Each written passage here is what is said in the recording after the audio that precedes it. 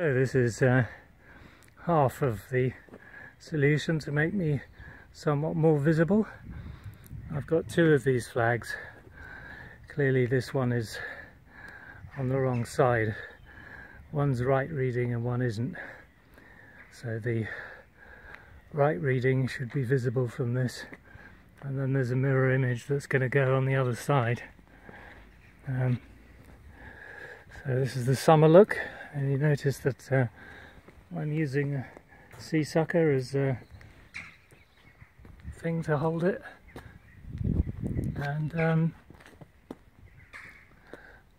that's it.